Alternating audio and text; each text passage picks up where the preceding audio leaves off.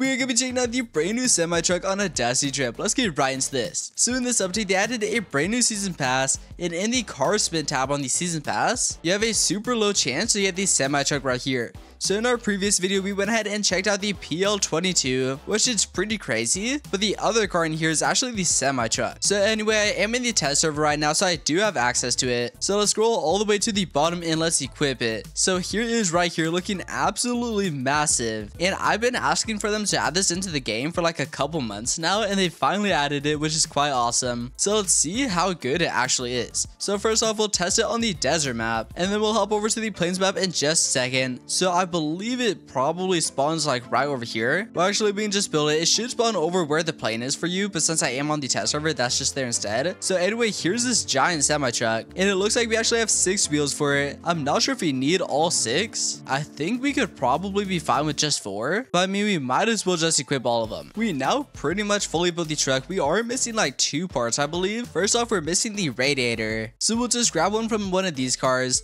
and we're also missing the back. So I'll just grab the back from this other semi-truck and we'll just see if it attaches to this one. Hopefully we can. I'm not sure though since it's not the correct one. And yes, we can. Awesome. So we just open it up just like that. Not sure what you'll want to put in here, which actually this would be good for transporting mutants because a few updates ago, they actually made it so you can sell mutants for coins and the semi-truck would actually be perfect for that. Anyway, before we test it around, let's go ahead and grab a radiator. There we go. But as I was saying, this would be perfect for transporting mutants because all we need is the gravity gun and this car right here. So we'll use the gravity gun to pick up mutants, put them in here, and then just close the door. And then we could just stuff as many mutants as we want in there and then we could just drive to one of the places where we sell them and then get a ton of bottle caps. I'm not sure if there's too many things you can buy with bottle caps at the moment, but anyway, it looks like this isn't moving. Let's try like pushing it a little bit. And never mind, I actually completely forgot to put gas in it.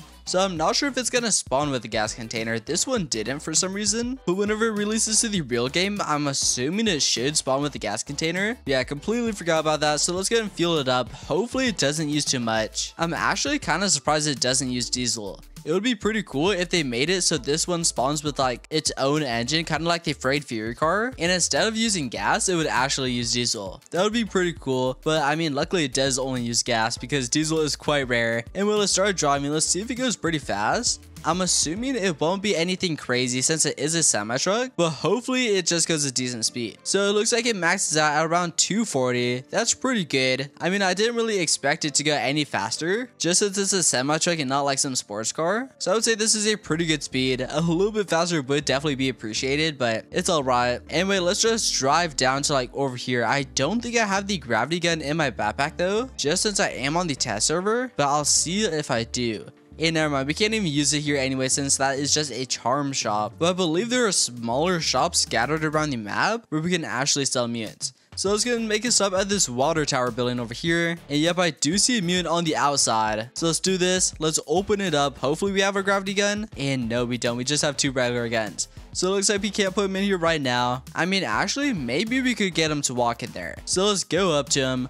Also, I believe you are able to put cars in the back of this. You'll just have to like make a ramp for them. Anyway, we got this dude over here. Let's go ahead and run up inside. And no, he kind of just stops chasing us. We need him to chase us inside of here. I believe we can eventually get him to jump in. It might be quite difficult though. Well, it looks like we can't really get him to jump in. We can probably do it eventually. But I mean, if you have the semi-truck, you could kind of use the back as just a safe zone. So you could just keep it open. And if it means chasing you, just go ahead and jump inside and then they'll stop chasing you. So that's pretty cool. Let's try removing this. So let's take it off and there we go. All right, let's see if he chases us inside now. And no, he still doesn't. So yeah, I guess you could use this as kind of like a little safe zone. It might be the same for the ghost town. I'm not too sure. Actually, let's try that out. So I'll try driving all the way down to the ghost town. Actually, before we do that, let's see how much gas it uses. So we're at 1000, 8.7. All right, that's still pretty good. And then those ones are pretty good as well. And no, I'm about to die. All right, so let's actually drive this down to the ghost town and let's get all the mutants to chase us and then we'll try jumping in the back because it looks like if we jump in the back it makes it so they like stop chasing us. So if we could use that at the ghost town that would actually be pretty crazy because that means we would be able to kill all of them without having to even worry about them killing us. So let's just drive down there and check it out. We now made it all the way to the ghost town and it took like 30 minutes just since like the semi truck goes so slow. But anyway, let's hop out. So we gotta lure them towards us and I think it might be better to like kind of back it up. So there we go. We didn't back it up too much, but just enough. And now before we go over there, let's just check the gas. So 6.1, that's pretty good. And then we still have 3.4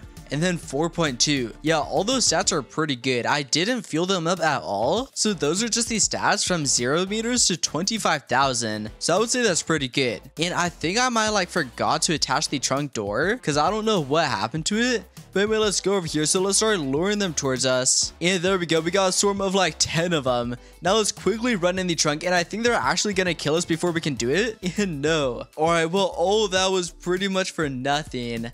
So it is pretty difficult. Maybe I should try bringing the semi truck a little bit closer. But yeah, that did not work. And I can't really try it again because once we use a revive, all the mutants around us will just disappear. So we'll still wipe out the ghost town, but it means we still have to die and then use a revive. So let's go ahead and click your free revive right here. And alright, it looks like they'll actually still go in the semi truck anyway. And yep, they're just all gone. But yeah, I guess the semi-truck doesn't fully save you because it looks like they'll still come in here just because of how many there are. If there's only like two or three mutants, the semi-truck should save you. But the ghost town, there's so many that they kind of like push each other into the semi-truck so they can still like come in and kill you. So I would recommend being careful of that. But overall, the semi-truck is actually a lot better than I thought it would be. The fluid consumption is actually super good, especially for the water. 0.8 liters of water in 25,000 meters is actually very good. The speed, not so much, but I mean, it is a pretty good speed if you're stopping at every building. Because if you're stopping at every building, then you'll hop in the car, drive for like 20 seconds, and then stop at another. So overall, I would say this is a pretty good car, especially if you have tons of friends and they're just going AFK or something, you could just toss them in the trunk, close the door, and then just drive away. Yeah, anyway, that's the brand new semi-truck on a dusty trip though, so that's gonna be all for this video. So make sure to leave like, subscribe, and turn on post notifications, and I'll see you in the next video.